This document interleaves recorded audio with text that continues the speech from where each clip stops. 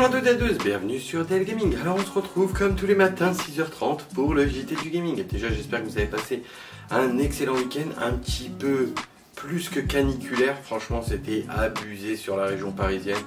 Samedi on a eu 38, hier on a eu 37, mais clairement c'était irrespirable, c'est une catastrophe. Donc euh, voilà, sinon quoi vous dire d'autre? Regardez ce que j'ai reçu ce week-end Je l'ai reçu vendredi après-midi. Ma petite façade. Je vous prépare un unboxing. J'ai déjà j'ai la façade, j'ai la manette. Bon, je les ai ouverts. J'ai ouvert que la manette. J'ai pas ouvert les façades. Mais euh, dans tous les cas, je vous prépare un petit unboxing sympathique, joliment, mais voilà, tranquille. Je vous préparerai euh, sur Insta et peut-être je le mettrai en short sur YouTube. Donc on verra, on verra, on verra tout ça. Donc euh, bref, on n'est pas là pour parler de façade et de manette de Spider-Man, on va parler des news. Alors pour ceux qui ne connaissent pas JT du Gaming, ça se passe du lundi au vendredi, 6h30. On fait un point sur l'actu euh, PlayStation, Xbox, Nintendo, tranquillement en 10, 15, 20 minutes en fonction de l'actu. Voilà, quand c'est des rumeurs concrètes et fondées, on va en parler, mais sinon on parle vraiment des news. Donc, euh, trêve de bavardage, on va passer au sommaire. Alors, le sommaire de ce matin, les amis, on aura trois news. Première news, on va parler de Assassin's Creed Red. Vous vous souvenez qu'on en a parlé il y a fort longtemps de ce jeu, mais on ne sait pas grand chose. Et là, on a eu des petites infos sympathiques.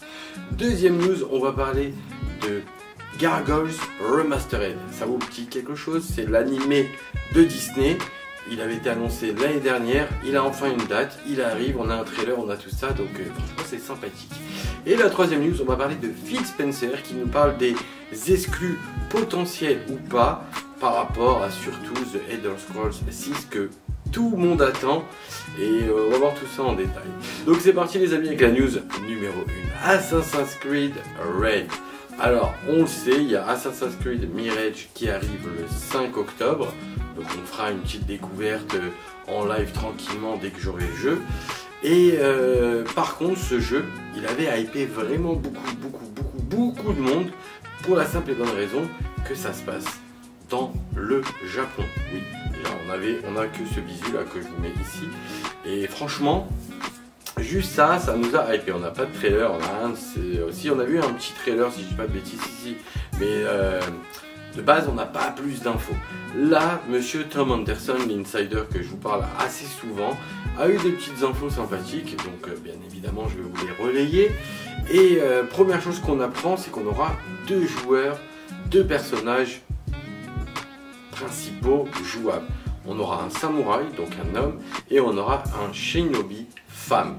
On ne sait pas grand chose sur le shinobi femme, mais sur le samouraï euh, homme, on sait que ça va être un samouraï de couleur noire. Le premier samouraï africain qui était, euh, si je ne pas de bêtises, en l'an 1500 dans le Japon. Donc c'est l'un des seuls samouraïs africains. Donc ça serait lui. Donc on aurait une vraie histoire par rapport à lui, à ce protagoniste. Sur la shinobi, il ne sait pas grand chose. Ce qui sait d'autre, c'est que le jeu, bah, apparemment, tout le décor sera destructible. Alors, il y en a qui kiffent, il y en a qui kiffent pas, mais je préfère avoir de l'interaction avec avec ça, avec les choses quand on se balade dans un monde ouvert, que ne rien pouvoir faire, casser des caisses, casser ci, casser ça, voilà, récolter des choses, etc. etc. Donc euh, voilà ce qu'on sait. Euh, qu'est-ce qu'il sait d'autre? On sait que le jeu est prévu pour fin 2024. Donc après, on connaît Ubisoft.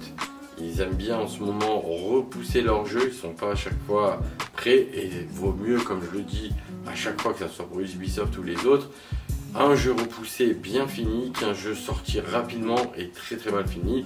On a eu l'expérience avec malheureusement Cyberpunk 2077, si vous vous souvenez bien. Il n'y a pas très longtemps, il y a 2-3 ans, si je dis pas de bêtises.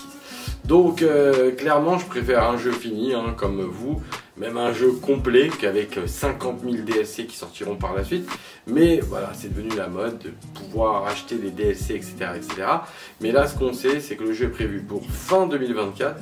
Alors, ce qu'on sait aussi, c'est que le jeu est ex exclusif next-gen. Voilà, ça c'est bien parce que ça fait 3 ans qu'on a une PS5, 3 ans que moi je l'ai plus la Xbox, mais à la base ça fait 3 ans que la Xbox aussi est sortie. Les gens ont acheté des gros PC gamers, et c'est des gros PC, tous les 6 mois il faut changer les choses. Donc clairement on veut du lourd, on veut des jeux next-gen parce que depuis 3 ans, mis à part 2-3 jeux, que ce soit sur PlayStation ou sur Xbox, on n'a rien à se mettre sous la dent, on aurait pu garder notre PS4 ou notre Xbox One et on serait pareil, euh. Donc euh, dans tous les cas, ce jeu Assassin's Creed Red sortirait pour fin 2024 et il sera sur PS5, Xbox Series et PC. Donc voilà, j'espère qu'on aura des infos s'il sort en 2024. Logiquement, la logique des choses voudrait qu'on ait une petite révélation au Game Award, hein, on verra. Ou sinon, bah, si c'est fin 2024, peut-être qu'à l'Ubisoft Forward aura lieu pendant la période de comment ça s'appelle déjà, je sais plus, le truc, euh, bah à la base moi c'était le 3, et maintenant ça s'appelle le truc avec l'autre, celui qui fait les Game Awards. Bon, vous me direz en commentaire, je ne sais plus comment ça s'appelle. Les euh, opening, euh, la Summer Game Fest, voilà, j'ai retrouvé le. La Summer Game Fest, donc aussi tard, je ne sais pas, après tout dépendra de la date de sortie. Dans tous les cas, moi j'attends vraiment impatiemment Assassin's Creed Mirage, vous me direz en commentaire si vous l'attendez ou pas. Et d'ailleurs, regardez ce que j'ai reçu. Je me baisse. Les secrets d'Assassin's Creed par Feur d'édition. Bon, il est encore sur Blister. C'est un livre, j'ai beaucoup de livres de chez Feur d'édition.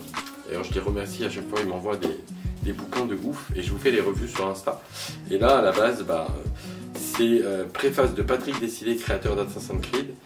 Et franchement, bah, on va, je vais en apprendre des choses. Je vais apprendre plein de choses. Donc, euh, c'est le moment. Si vous voulez découvrir, il y a en plus, une édition genre First Print qui est vraiment très belle avec une cover de ouf. Alors pour ceux qui me demandent, parce qu'il y en a plein qui me demandent sur Insta, au cas où vous me demandez sur YouTube, comme ça vous le savez, ce n'est pas du tout un manga ou un comic, c'est vraiment du texte, c'est un roman où on apprend énormément de choses sur euh, tous les univers à chaque fois qu'ils font un, livre au niveau de peur d'édition. Donc euh, voilà, la petite parenthèse, euh, si vous aimez Assassin's Creed, voilà, c'était le moment d'en parler. Donc voilà pour la news numéro 1, on va passer à la news numéro 2. Alors news numéro 2, c'est Gargoyles Remastered. C'est un jeu qui avait été annoncé, si je dis pas de bêtises, en septembre 2022, donc il y a un an, par Disney Games. On a eu le petit trailer, je vais vous mettre là, je vais pas vous le couper, tout ça. Euh, c'est sympa, c'est un jeu à l'ancienne, 16 bits, comme on avait sur Mega Drive et Super Nintendo, où on avance en défilement horizontal. Euh, on a la possibilité de le mettre en mode pixel, comme à l'époque des 16 bits où on a, bien, comme son nom l'indique, la possibilité, heureusement, de le mettre en mode remaster où c'est beaucoup plus lisse, beaucoup plus joli, où ça ressemble à un animé. Ça a l'air pas mal du tout. Donc c'est prévu pour le 19 octobre euh, sur PlayStation 4, Xbox One, Nintendo Switch, PC. Et euh, donc le 19 octobre, il est au prix de 15 dollars, je crois, donc 15 euh, euros grosso modo. Il est déjà en préco sur les stores et on aura une version boîte. Donc moi éventuellement, si ça me dit, parce que je me rappelle de cet animé quand j'étais jeune, mais c'est vrai qu'on n'entend plus parler de la licence, hein, ils l'ont mis à Disney, ils ont tellement de licences, mais ça fait plaisir de voir des jeux comme ça. Alors après, est-ce que c'est redondant comme le fameux Disney qui est sorti de chez Disney, euh, le Mickey de chez Disney plutôt, je me suis emmêlé les pinceaux avec Mickey et Disney, euh, je sais pas, mais bon, pour 15 euros, après la version boîte, je pense qu'elle sera 29 euros, logique mais euh, pourquoi pas à tester. Alors la version boîte elle sortira un peu plus tard parce que je pense pas qu'elle soit prévue pour le 19 octobre aussi. Mais dans tous les cas, ceux qui aiment le démat, c'est dispo le 19 pour Gargoyles Remastered. Donc voilà pour la news numéro 2, on va passer à la news numéro 3. Celle qui peut intéresser beaucoup de monde. Vous le savez, comme beaucoup de monde, Bethesda a été racheté par Microsoft. Bon, c'est c'est encore euh, le bordel dans ce truc là, j'en parle même pas parce que ça m'a donné mal à la tête. Honnêtement, c'est fatigant, ils ont racheté, donné l'heure, pour au final tout le monde se met, nanana, les exclus, pas les exclus. On va pas casser les rognons à Nintendo en leur disant ouais vous avez Mario, donnez-moi le sur PlayStation, donnez-moi le sur Xbox, donnez-moi le sur PC. Non, on va pas casser la tête à PlayStation pour, euh, je sais pas, euh, pour Spider-Man par exemple, voilà, parce qu'il arrive et c'est une exclu PlayStation, on va pas lui dire venez le sur Nintendo, mais le sur Xbox. Bref, vous connaissez ma politique par rapport à ça, ça veut dire chaque console a ses exclus. Pour moi, c'est comme ça, c'est logique. On a été, moi j'ai été éduqué comme ça. La Mega Drive, on est allé vers la Sega, vers Sega pour Sonic, la Nintendo pour Mario. Voilà, et on n'allait pas chipoter et faire les pleureuses sur les réseaux sociaux. Bref, dans tous les cas, Bethesda appartient à Microsoft. Voilà, Starfield est un succès. Je n'ai pas y joué. Ça me donne envie de racheter une Xbox, je vous cache pas. Mais euh, on verra, on verra par la suite parce que pour l'instant, honnêtement, voilà quoi, euh, remettre 500 euros en sachant qu'il y a que Starfield parce que les autres jeux, bah, c'était pas oufissime. Le Game Pass, c'est de la consommation non-stop et au final, on joue même pas, on juste on le télécharge, on teste, on n'aime pas, on base c'est un peu voilà du Netflix euh, dans ce sens-là. Mais euh, dans tous les cas, chacun voit comme il veut hein, par rapport à ça. Mais euh, moi c'est mon avis. C'est pour l'instant à part Starfield, il y a Indiana Jones qui va arriver l'année prochaine. Ils en reparleront sûrement en fin d'année eux aussi. ça c'est un jeu qui peut aussi être une exclu Xbox de chez Bethesda. Et là, Phil Spencer a parlé par rapport à Elder Scrolls 6 le jeu que toutes les, personnes attendent, que ce soit sur PlayStation, sur Xbox, logiquement, ça serait une exclue Xbox. Ok? Mais Phil Spencer a dit il verra au cas par cas sur chaque licence. Donc, potentiellement, il pourrait sortir sur PlayStation 5. Donc, la porte n'est pas encore réellement fermée. Là, actuellement, sur Starfield, qui est une exclue Xbox, ils sont énormément. Il y a eu un beau démarrage. Il y a des gens qui aiment, il y a des gens qui n'aiment pas. Sur Twitter, c'est liké. Bon, c'est plus Twitter, c'est X, mais bon, c'est n'importe quoi. Euh, c'est pour ça que sur Twitter, je suis pas. Euh, je viens, je poste les concours pour la commu. Et encore, la commu, il y en a, franchement, sur les 5000, il y en a peut-être 15 qui sont réellement intégrants à la commu. Le reste sont là vraiment que pour les concours. Donc. Euh, voilà, hein, désolé si vous passez par là, mais c'est la triste réalité. dans tous les cas, je poste mes trucs et voilà. Il n'y a pas réellement d'interaction, il y a plus d'interaction sur Instagram. Je suis honnête avec vous. Parce que voilà quoi, Twitter c'est. Voilà quoi. C'est devenu n'importe quoi avec Elon Musk et la commune, les fanboys de chaque euh, constructeur, c'est un délire. C'est un délire. Dans tous les cas, Starfield est un succès. Voilà, c'est ce que j'ai vu, les tests que j'ai regardés, que j'ai lu, les vidéos que je regarde, ça a l'air sympathique. C'est pas mal du tout. Il a peut-être fallu attendre 3 ans pour qu'un jeu sorte comme ça sur Xbox c'est comme ça, ils sont en pleine restructuration. Maintenant, pas d'action chez Pierre-Paul Jacques, je vous donne mon avis.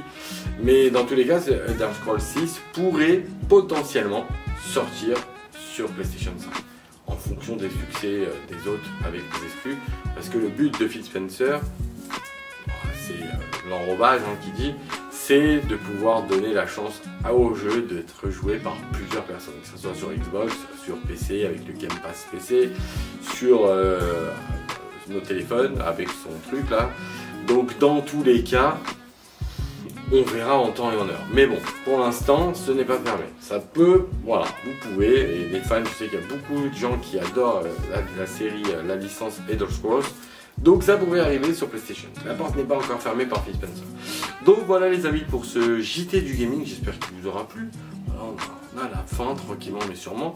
Euh, sur ce, bah, on se retrouve euh, demain 6h30, pareil, même heure, même endroit, pour le JT du gaming avec les news quotidiennes et euh, instinctifs. Sur ce, n'oubliez pas de vous abonner, activer la cloche, partager, liker, commenter comme d'habitude. Je vous souhaite une bonne journée, une bonne reprise, une bonne semaine et surtout prenez soin de vous. Bisous bisous